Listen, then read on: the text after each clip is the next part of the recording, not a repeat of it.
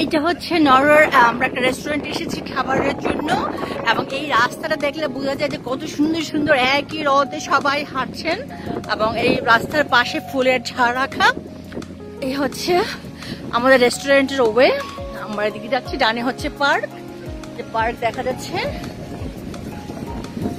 এখানে কোনো ক্রাইম নেই, কোনো ইপিজিং নেই, কিছু নেই। খুব সুন্দর শহর হচ্ছে নরওয়ে।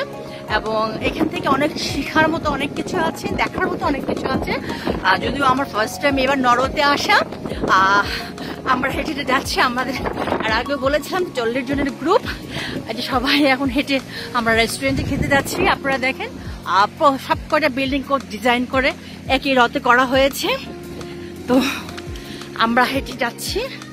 আমাদের টুরিস্ট যে বাস এবং গাইড সেই গাইডের নামও হেলেন আমিও হেলেন। তো আমরা সেই গাইডের মাধ্যমে এখানে এসেছি। উনি আমাদেরকে এই পর্যন্ত আগিয়ে দিয়ে তারপর উনি চলে গেলেন।